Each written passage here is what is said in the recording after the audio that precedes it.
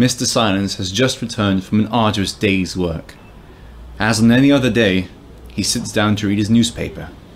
And yet, unlike any other day, he feels restless.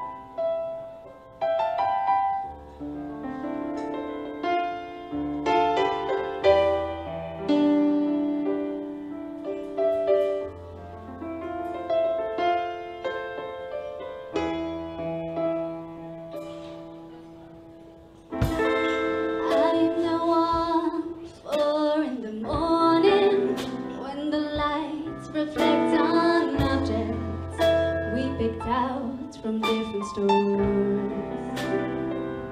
Or we would have picked up anyways, as they were things